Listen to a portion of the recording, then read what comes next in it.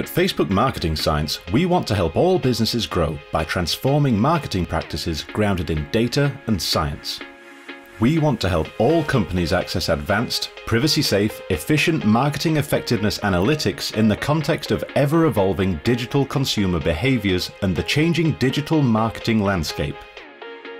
Let us introduce you to Project Robyn. Robyn is a marketing mix modeling code that aims to help the community of marketers across the globe take control of their cross-media return on investment and budget allocation decision making. Robyn allows you to take control over your cross-media budget allocation decision making.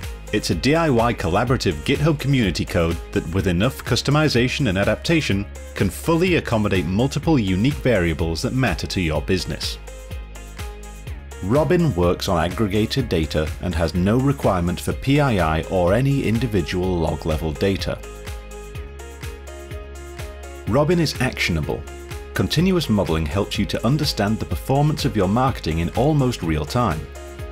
Robyn includes an integrated marketing budget optimizer with the ability to apply custom constraints. Robyn also contains advanced features, such as calibration, it can be calibrated and validated using real-world experiments. And Facebook Prophet, which adds automated seasonality and richer external variables modeling, which increase interpretability and model fit. Robyn will produce conventional Triple M output tables and graphs ranging from sales decompositions to response curves as well as ROI tables.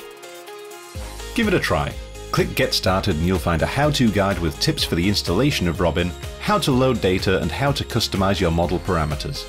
We suggest the step-by-step -step guide as the go-to section to kick off your modeling. Happy analyzing!